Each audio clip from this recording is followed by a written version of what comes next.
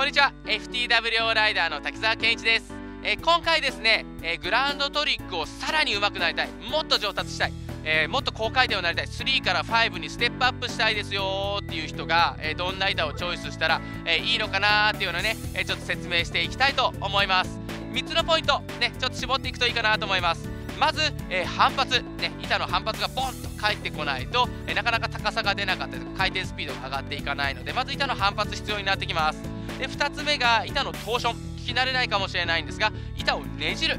動作。これね重要になってきます実は。なのでそのトーションが使いやすいかどうかっていうのが、えー、必要になってきます。で3つ目のポイントが、えー、板のスイングウェイト、ね、板がいかに、えー、軽いだけではなくって、えくるくるっと回した時に軽く感じられるかどうか。っていうところをね、えピックアップしていくといいかなと思います。まずその1つ目のあの反発なんですけども反発っていうのはあの板しならせないためですねグランドトリックしならしたところから帰ってくるところのバランスがすごく必要です。ただただ硬い板反発の強い板だと板がしならないのでグランドトリックはそもそもやりづらいですよ。ただその分でこうやって板をねこういう風にギュッとしならした後にポンと返ってくる、えー、強さっていうところのバランスっていうのでどういう風に板を選んでいくのかっていうのが必要になってきますよね。で2つ目のこの、えー、トーションっていうのは何かっていうとトーションでこの板のねじれる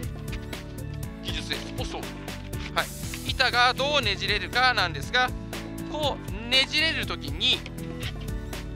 例えばプレスの動作で板を横にしていってプレスをしながら横にしていくと逆エッジのリスクがあるのでどうしても板立てちゃいますよね。立てちゃうと減速します。でそこでトーションを使うと軸足は踏みながら軸足じゃない方はしならして上げていくっていうことで減速させずに、えー、しっかりと、えー、踏みに行けますよだったりだとか。あとはノーリースピンの時もしっかりと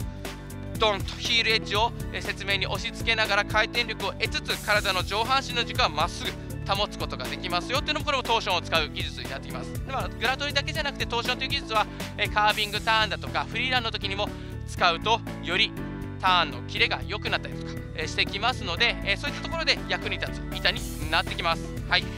で、えー、3つ目の、えー、ポイントのスイングウェイトですがもうおのずとね、えー、軽ければ、えグランドトリックってやりやすいとは思うんですよ。ただ軽いだけじゃなくって、えバランスですね。ノーズテール。この先端が軽ければ人間っていうのは回した時に板を軽くえ感じるようにできています。ね。なのでバランスっていうのを板の中心ここに重心を持たせてノーズテールを軽くするっていうのをね、え板をチョイスするとより回しやすくなってくるので高回転も狙いやすくなってきます。では今日はこの僕が実際に、え使っています、えブラックデッキですね。FTW のブラックデッキを、え例にとってその辺を説明していきたいと思います、えブラックデッキに関してははい。まず1つ目のポイントの、え反発、えこれの使いやすさなんですがしなったところからボンと返ってくる反発っていうのを非常に使いやすく設定しています。えー、しならせるっていうのがまず一つポイントです。しならないと、えー、意味がないので、えー、まずしならせるために、えしなりのバランスを足と足の間ですね。この部分を柔らかめに設定して足の外側ノーズとテールの部分をちょっと固めに設定して反発を使いやすくしています。そうすることでセンターフレックス板が中心の部分キュッとねこうやってしなりやすくなってますね。板の中心の部分がしなりやすくてそこから返ってくる反発がポン。強く、えー、なるように設定しています。でその反発を得るためにも、えー、板自体はキャンバーっていうね板のバネの持った形状になってるんですが、えー、ただのキャンバーじゃなくってローキャンバーっていうこのキャンバーの高さをちょっとね低くしてます。この反りをこう反らせる少し浅く反らせるんですね。そうすることで、え反発は得つつもちゃんと板がしなってくれますよっていう形状に、え仕上がっています。はい、では2つ目のポイントですね。2つ目のポイント。それはトーションですね。トーションはこの板のしなりですね。これで板がギュッとしなる時の、えー、扱いやすさなんですがブラックデッキの場合は、えー、普通のキャンバーよりもしなトーションが使いやすいように足と足の間のキャンバーをフラットに近い状態にしています。ノーズテールにキャンバーを持たせて足と足の間をフラットに近い状態にすることで、えしなりを得やすくなってきます。で物理的にはあの平らなものっていうのは一番しなりやすいんですよね。それがな、えー、弧を描いたりとか波打ったりするとしなりづらく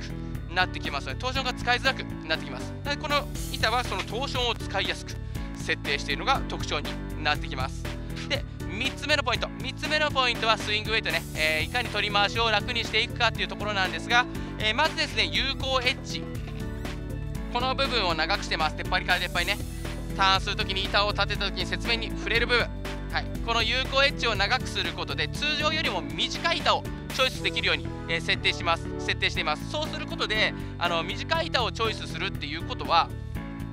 この部分を短くチョイスしてるのでこの部分なくなりますよね。おのずとノーズテール軽くなります。そでも普通の板をね短くすると、えー、安定感が失われるので振り出しづらくなっちゃいますよね。なのでこの板は有効エッジを長くしておいて圧雪されている雪の上ではしっかりと普通の板と通常の雪雪面ね雪に触れてる部分の安定感を保つことができますよという形状になっていますので短く選ぶことが可能になっています。でもう一つ、えー、その軽くするためにスリムチップっていう機能を搭載してるんですが、えー、ノーズテールの部分を薄くしたりだとかこういう部分をいらない部分ねカットしたりとかすることによってよりノーズテールを軽くしてますよっていうのがこの特徴になっていますね。はい。そうすることでスイングウェイトはい。使いやすくなってきます。はい。その3つのポイント押さえてください、はい、爆発的な反発。ね。2つ目がトーションの使いやすさ。そしてスイングウェイトを軽くするってこの3つのポイントで、えー、グラウンドトリックのネクスト、えー、ステップに、え進むことが、え、できるようになってきます。そこをポイントにね選んでもらえたらいいかなと思いますので、えその辺をね、え板選びの参考にしてもらえたらいいかなと思います。はい。でこのね来年板の買い替えをご検討の方は、えー、さらにグランドトリックを上達したいもっともっとうまい、えー、上手くなりたいもっともっと上のトリックをね目指したいという方はこの FTW のブラックデッキぜひチョイスしてください。さあ今シーズン思いっきりスノーボード楽しんでくださいね。それではまたお会いしましょう。ありがとうございました。